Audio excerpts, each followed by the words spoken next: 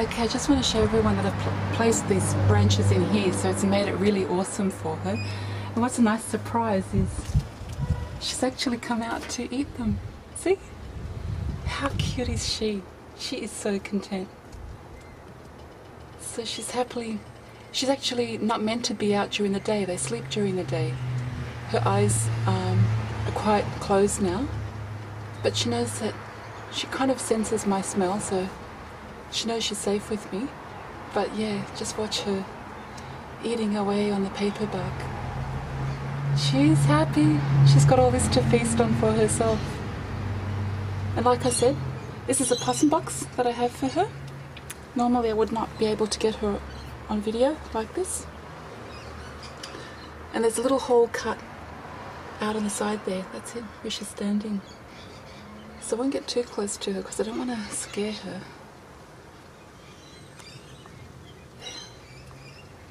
So she's kind of cautious, but at the same time she knows she's fairly safe. And she's really content. Oh, and the reason why I've got the teddy bear strung up like this is, um, like I said, her mum was hit by a car that I showed you in previous video footage.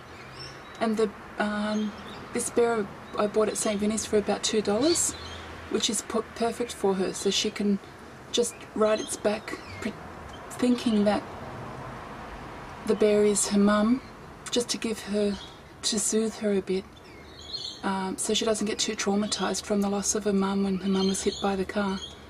But she's doing really well, she's growing up, and um, yeah, this is our unique and amazing Sydney wildlife that's um, specially put in here to house her and allow her to sleep. And I'll be putting two more in my little tiny yard because uh, I've come to realise that we have possums in our backyards here in Dulwich Hill. So she's an awesome little thing. Look how cute she is. How could anyone not love our possums? They are so gentle. All they want to do is um, live alongside us. And all we need to be aware of is rip out any exotic species of plants in our gardens and start planting um, the proper food shrubs and trees like Banksia, bottlebrush, paperbark, grevillea, even Eucalyptus rosacea. They've got the hybrid versions you can pick up at Flower Power that grows three metres tall by three metres wide. And um, have our awesome and unique wildlife living with us.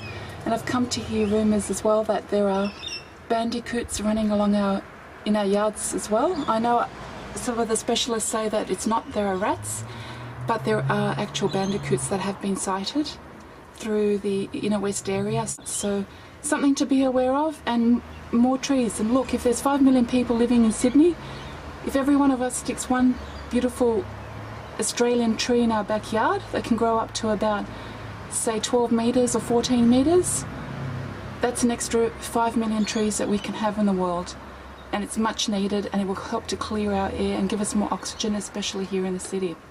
Old growth trees is much needed by most of our um, parrots and lorikeets and um, you know even the sugar gliders out there that are probably getting slaughtered as trees are being torn down. So something to be aware of and to raise the awareness with all our councils and our community. But the councils out there are doing some awesome work and they are planting more and more of our food trees for our wildlife on the streets but we need to get more in our yards as well so thanks for listening something I just wanted to um, take note of. While we're watching my gorgeous possum having a feast and enjoying the paper bark that she's eating right now